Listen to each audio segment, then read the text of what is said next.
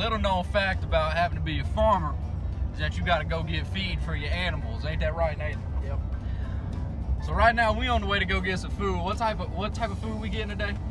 Pre-con and ultra What what's what's animals eat that? cows. So pre-con and ultra food. If y'all don't know what that is, that's the blow them up, get them looking right feed. Ain't that right, Nathan? To get, to get right feed. Get right feed. It's gonna make them things plump. They're gonna look like a watermelon in the middle of the summer by the time we get done with it. So we're gonna roll on and get some feed, and then we got to go back and then feed the cows. But that's what we're working on right now.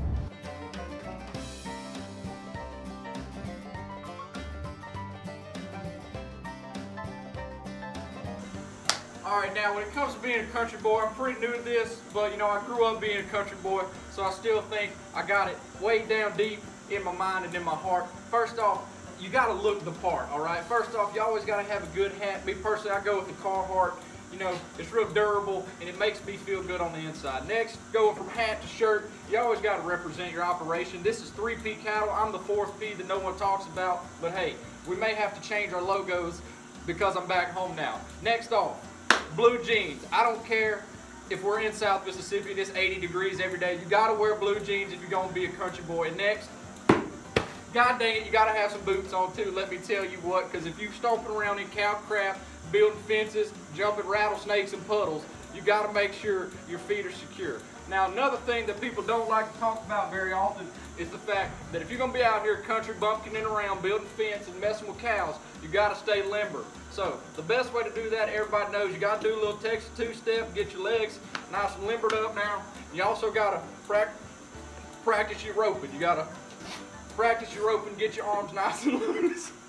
and that makes sure you're ready. Whether you driving fence posts, hauling cows, or loading sacks of feed, you're ready for whatever may come. Now, if you look behind me here, we've got what I like to call our grocery stalls.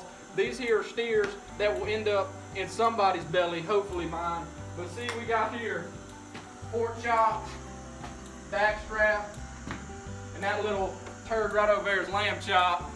And they're gonna be some real fine ones. We just gotta get them a little bit bigger. They ain't getting the pre-con and stuff that we got earlier. They getting regular feed, the swell them up feed, if you will. Now, if you wanna follow me over here, what we got over here, this right here, the cream, the cream of the crop, if you will. These right here are gonna be some halter breaking heifers and one bull. And these here, some beautiful, fine looking animals right now. Uh, if you're in the market for a cow, you want to show a cow, you want to pet a cow, these are the cows you want right here, I guarantee you. They're going to be some good, fine looking animals. Uh, as you can see, they don't really want to get too close to me because they know when I come out here, it's, it's time to bear down and it's time to get some work done. But uh, yeah, that's what it's like being a country boy around here. Uh, we work hard every day, and this right here, this is what country songs are written about, let me tell you. We, we got our boots on, our blue jeans on, and we're ready to get to work. I appreciate you hanging out with me, letting me show you what it's like being a country boy out here.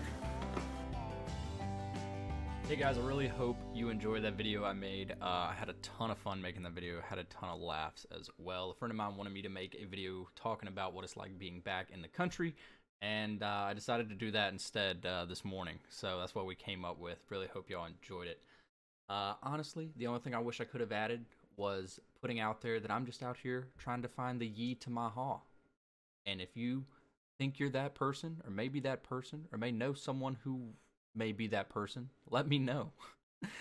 uh, I'm really just out here trying to give people a laugh, um, whether they're stuck at home all day or whether they're having to work long hours as an essential worker and then coming home. I just uh, want to be able to put out some content that is entertaining and people can laugh at and enjoy.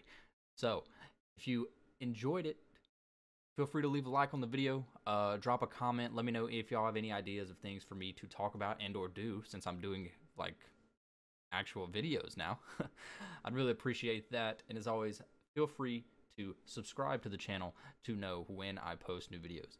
Thanks for watching. I'll see you guys in the next one. Peace. Now, little known.